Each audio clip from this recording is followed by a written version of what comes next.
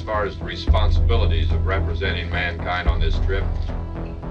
That's uh, relatively difficult to, to answer. Uh, it's a job that, we collectively said that uh, was possible and we could do, and, and of course the, the nation itself is backing us, so we just sincerely hope that we measure up to that.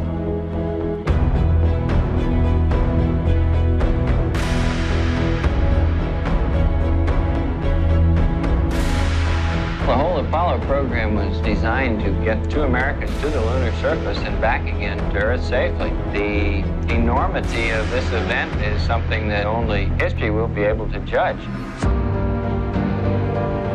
Apollo 11 has very simply been given the mission of carrying men to the moon, landing them there, and bringing them safely back. I can feel it in here when it's on. Okay, I'll flight controllers, go now. Go. I don't go. Go. GNC, go. EECOM, go. Surgeon, go. CAPCOM Onward, go for landing. Here, go for landing, over. Roger,